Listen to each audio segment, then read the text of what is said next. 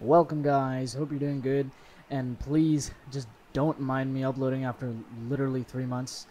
Now that I'm back, the first thing I'm going to do is make a video about an idea I pitched literally two days ago. You see, there's a lot of things we're never going to see in our little human lifetimes ever again. For example, the old days of Minecraft, a huge supernova radiating the sky, and the list hasn't even started. But when it comes to Hytale, prepare to be saddened by what you'll never get to see in your lifetime. So let's begin, shall we? First of all, in honor of Technoblade, I have to make this the first beautiful thing we'll never see is getting to watch him play. Techno was hugely excited about Hytale and followed it ever since. Now that pretty much is something we wish we could see and wish that Techno never left. We'll never get to see him cyberbully kids and survive with the utmost skill and groundbreaking humor and make Hytale a thriving, peaceful community to be a part of, like he always does. Condolences to his family and everyone he knows. Moving on with the next point, we will never get to see a good Hytale community ever again.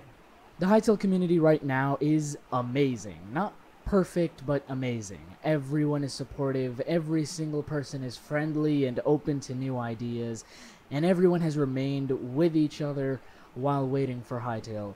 This community is one of the best and most fun to be a part of today.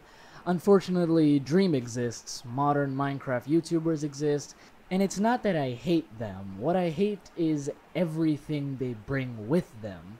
Hytale blows up one day, the intoxicated and ruined Minecraft community sabotages the already peaceful Hytale one, and will ruin everything. It's the 2020 Minecraft community all over again, and it's gonna suck. Hytale won't be an unpredictable game with exciting challenges and adventures and many good and happy friends to meet.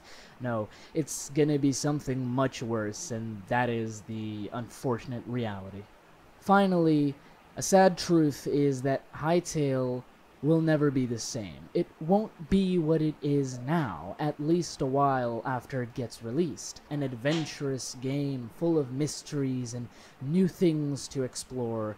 It will unfortunately turn into a myriad of complicated updates, microtransactions, and a lot of other things. I think you know what I'm pointing to here.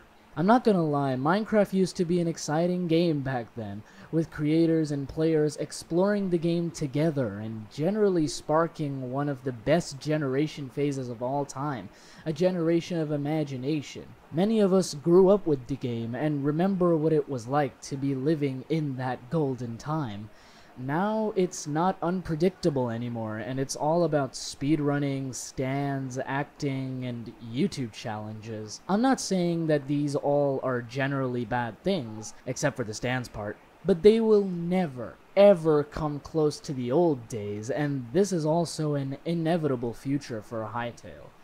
These are really painful, harsh truths that I'm unfortunately bombarding you with. But in time, we'll have to inevitably accept almost all of them. And there you have it, guys, the utterly disappointing realities of Hytale's lifetime.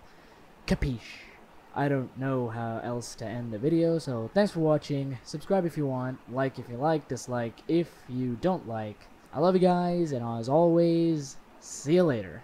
Hopefully.